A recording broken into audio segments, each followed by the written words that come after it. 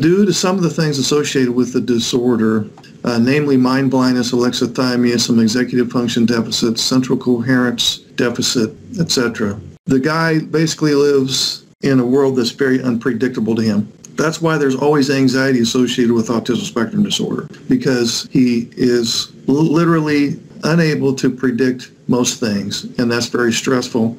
And that's why he also wants a high level of structure, predictability, doesn't like change. That's also why he is very sensitive to uh, anything that could download as criticism to him. And some of the ladies in here, you've said some things that you thought were pretty much neutral, but you still may have downloaded it as criticism. And oftentimes this comes from growing up, knowing that something is not quite right with me. Um, maybe he was ostracized from his peer group, teased, bullied, uh, problem child at school, and so on. And so self-esteem is very low. So now we fast forward to where he's an adult and he's married, and some of her attempts to get him to connect re- uh, remind him of some past experiences where he has been criticized and told what to do, always been told what he's doing wrong or what he's saying wrong, or things that he's supposed to say and do and, and he doesn't. And so he's been in, in many cases, it may not be the case with any guys in here, but in many cases,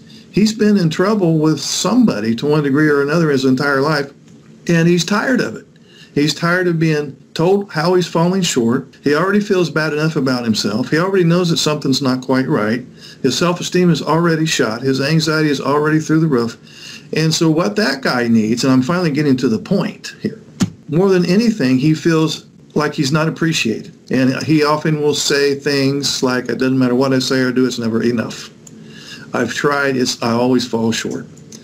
And so with, with the guy, what he wants more than anything and what he found in the early going of the relationship, he wants to be appreciated. He doesn't feel appreciated and he values that. And when he first hooked up with you, the NT wife in this case, whatever you said or did, it conveyed appreciation to him and that he valued that. And that's why probably why he stuck around, quite honestly. But as his special interest, which was you in the early going of the relationship, as his special interest changed over the years, he kind of drifted away. Then the NT wife tries to pull him back in, but her method unfortunately raises his anxiety and he wants to distance himself even more.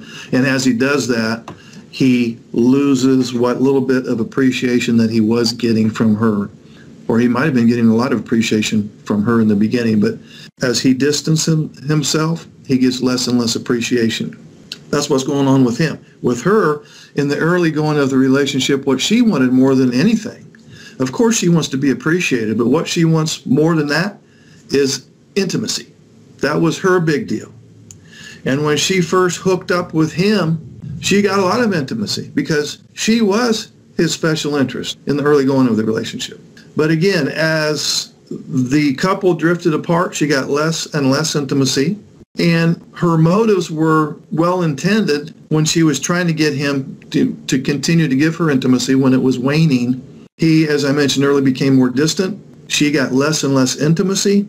And so that's kind of where we're at today, where he feels underappreciated. She feels like she's not getting any intimacy.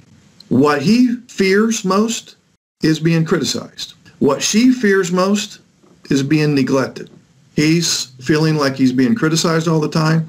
She feels rejected and abandoned. And what he wants more than anything to pull him back in to the relationship is to feel appreciated. And what she wants more than anything in order to pull her back in to the relationship is to reestablish a bond, reestablish trust. She doesn't want to play second fiddle to his special interest or his job and so on.